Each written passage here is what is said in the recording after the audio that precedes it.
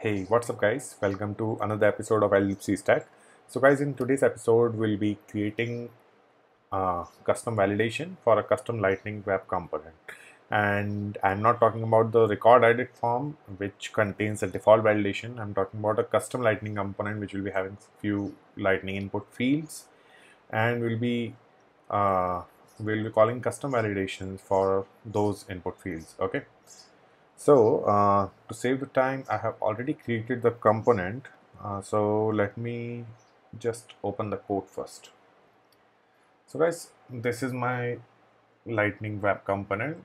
Uh, maybe you're look, uh, if you see the component name, so it is validate record edit form because uh, earlier I was trying trying the same for record edit form, but then later on I change the example to the custom lightning web component but seems like I'm too lazy to change the name. So you have to bear with me here. Okay. So in this component guys I'm having uh, two inputs here. First is for the account name and second one is for account phone number. Okay. And apart from that I'm having a button here just to save the record. As you can see this is a custom lightning web component okay we are not using any inbuilt functionality like record edit form and in controller guys uh, I'm using the UI record API just to create the record. Okay and apart from that I'm having show toast event here because we'll be displaying success or error message based on the uh, record creation. Okay and after that guys I'm having two parameters here ACC name and ACC phone to just uh, collect the data of name of the account and phone of the account okay? This is my handle on change event. One is for name and one is for phone number. And here's my save button guys. So in the save button i'm just having my values in field. I'm having name and phone number here. And after that i'm having the object api name here. And after that uh, i'm calling the create record api where i just have to pass the api name and fields okay and underneath that I'm just checking out the response. If the response is true then it will return a toast message which says accounts created successfully. Otherwise it will just display the error. So yeah pretty much uh, very simple lightning web component it is. Okay. Let me show you the output. And the output is very simple and clean I must say. So here basically we are having name phone number and save button and we do not have any validation right now so it will just save the record. No validation here. Okay. So now guys what we'll do we will just add validation here. Just to you know uh, restrict user to save the record uh, before filling up the values. Okay. So guys uh, usually to add validation you have to use the uh, report validity function for input validation. Okay. So we will be doing the same here. So we just have to take a constant okay let's name it. Is inputs correct because there will be multiple inputs? Okay. Okay let's have it here.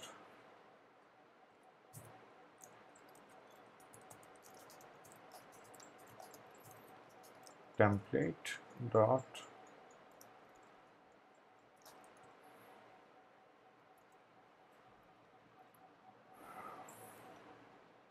okay query selector.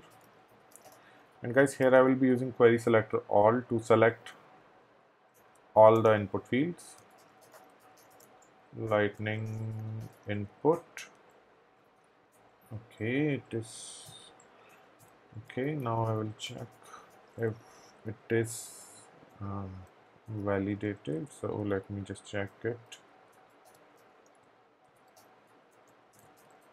valid so far. Input field. All right. Now if the field is valid okay let me hit enter here and close this one. Okay. So the field is valid then it should trigger the validation. Uh, input field dot report validity okay.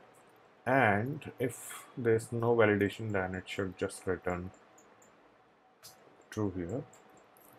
Okay. And here let's return the error. Uh, valid so far. And input field dot uh, check validity.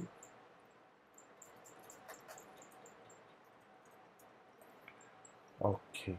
So guys we are having the validation here. And let me just check it now. If it is it return true which means no validations are required then okay let me just uh, where are the closing okay let me close it here and save it. Okay. So guys this is a custom validation which we have created here just to check if all the lightning inputs are uh, true here.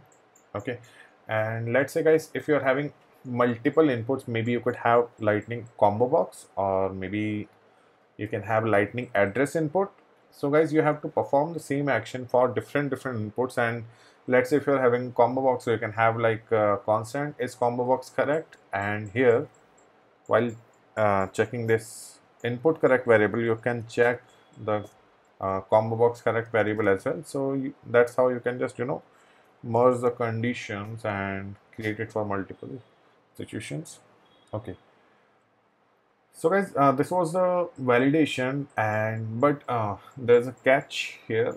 So you might be thinking like it's done. I mean nothing is required and everything seems fine here but uh, when i tried it first time so technically this is my second time uh, because i have to try the examples first before creating the videos. So guys you must have seen the validations are not here right now. Like if I will click on save button then it will just throw the error which is here but the validations are not getting triggered. So guys this was basically very strange situation. Like I mean uh, we have done all the code uh, here so it must be triggering the validation but I have faced this strange situation earlier as well and the solution for this situation is also very strange. So the solution for this situation is uh, you have to make the fields required. Yes guys you have to make it required and don't worry like if you're having multiple fields or multiple section let's say in section b you're having two fields in section c you are having uh, three fields then if a section is not getting displayed then the validations for that specific section will also be skipped for that specific section okay? So if you're thinking like if you make the field required then it might you know get uh, conflict create conflict with other validation. So don't worry it is not going to happen here because uh, I have tried the situation personally and it was working as expected. So let me just deploy it again.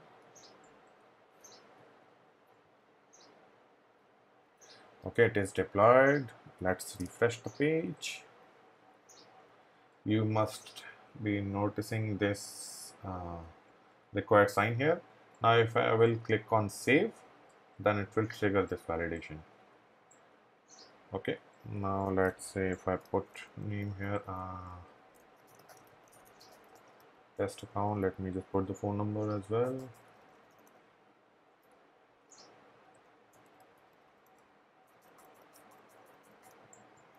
Okay. The validations are gone now. Let me click on save. And the account created successfully. Let's check out the account once. We'll go to sales. Open a new tab okay. Let's refresh it.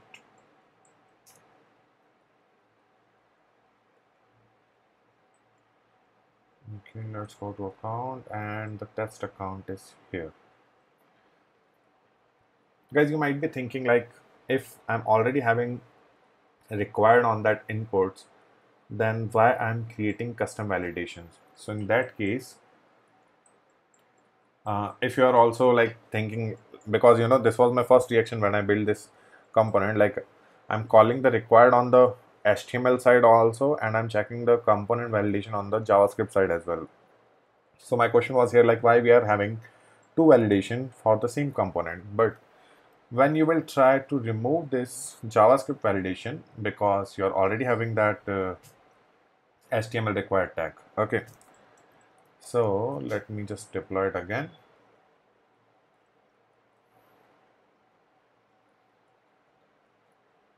Okay, it is deployed. Let me click on save. Okay, now when you will click on save, the validation will not trigger guys because the uh, field validation here will uh, will trigger only let, let's say if you will make the tab change so guys this is the situation here. If you make the tab change then the default validation is going to work. But if you're not doing the tab change or maybe you're just hitting the save button directly then these default validation are not going to work. Okay. See it is not working. It will just throw error. Let me put it back and from the other side if you will remove this required from here and here as well. And if you will try to run that again.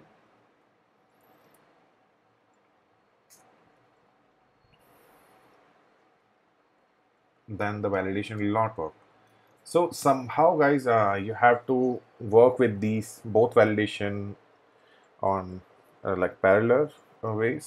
Because like if you will remove one then the other one is not going to run and if you will keep only javascript then the html is not going to work. So i think yes we have to deal with it like how it is going to be.